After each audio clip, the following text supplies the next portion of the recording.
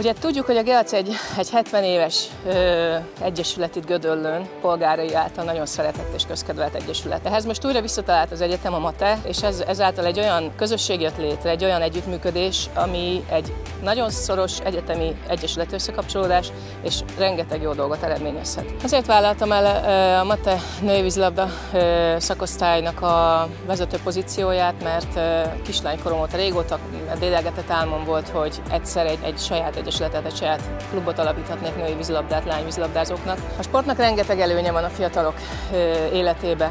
Saját példámból kiindulva meg tudom erősíteni az összes fiatal, de az összes szülő számára is, aki esetleg azon gondolkodik, hogy vigye sportolni, vagy vigye vízilabdázni a kislányát, vagy a gyermekét, bármilyen sportot is választ. Hogy olyan hatalmas ö, hangsúly van a személyiségfejlődésben, hangsúlyos a sport szerepe, hogy olyan tulajdonságokat tudunk magunkra szedni, összegyűjteni, felépíteni magunkban a fiatal korunktól kezdve, gyerekkorunktól kezdve, amíg felnőtté válunk, amit meggyőződésem, hogy talán a sport tud nekünk a legkönnyebben megadni. Kívülről belül mindenhonnan az egyetemi sportban vagyok, és egyetemi sportban dolgozom, amit egyébként nagyon szeretek, és egy nagyon tiszta környezetnek találom. Az, hogy az egyetemisták sportoljanak, azért is kiemelt fontosságú, mert még az az utolsó olyan időszak a fiatal felnőttek életében, amikor egy intézmény igazából hatással tud lenni az ő személyiségfejlődésükre. És ezért nagyon fontos, hogy, hogy itt még az egyetem be tudjon avatkozni, és törekedjen arra, hogy be is avatkozzon, hogy megadja a fiataloknak, az egyetemistáknak a lehetőséget, lehető legszélesebb spektrumú sportolás, hogy mindenki megtalálja azt, amit igazából szeretne csinálni, és amiben ki tud teljesedni.